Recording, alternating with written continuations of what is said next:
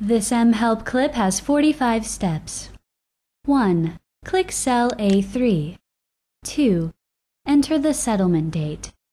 3. Click cell B3. 4. Enter the maturity date. 5. Click cell C3.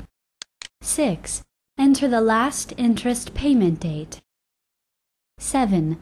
Click cell D3. 8. Enter the interest rate. 9. Click cell E3. 10. Enter the security price. 11. Click cell F3.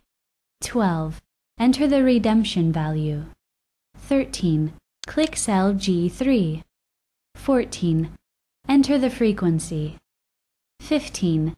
Click cell H3. 16. Enter the type of day counting you want to use. 17. Click the cell where you want to display the answer. 18. Click the Formulas tab. 19. Click Financial. A menu will appear.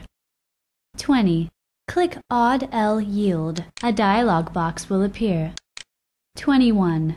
Click the Settlement button. 22. Click cell A3. 23. Click the Formula button. 24.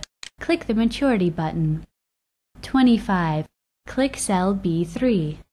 26. Click the Formula button. 27. Click the Last Interest button. 28. Click cell C3. 29. Click the Formula button. 30. Click the Rate button. 31. Click cell D3. 32. Click the Formula button. 33. Click the PR button. 34. Click cell E3.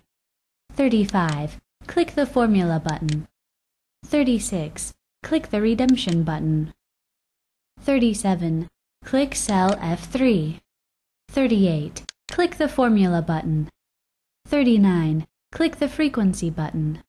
40. Click cell G3. 41. Click the Formula button.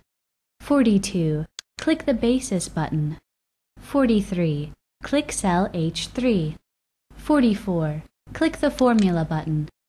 45. Click OK. The answer will be displayed in the cell selected.